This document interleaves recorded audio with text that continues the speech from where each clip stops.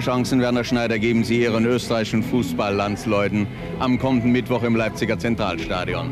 Leider sehr wenig. Ich habe das Gefühl, dass die Mannschaft so auf den Punkt äh, vorbereitet war in Wien und so unbedingt gewinnen wollte, dass die Enttäuschung über das 1-1 äh, doch so groß ist, dass jetzt möglicherweise die Luft ganz raus ist. Dann traue ich der Mannschaft der DDR die, die bessere Nervenstärke zu.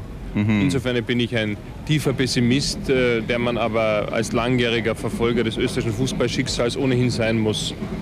Äh, stapeln Sie da nicht ein bisschen tief? Ist nein, das nein, nicht Zweckpessimismus? Das ist kein Zweckpessimismus. Natürlich würde ich mich über ein Wunder freuen, das können Sie sich vorstellen, aber ich glaube nicht dran.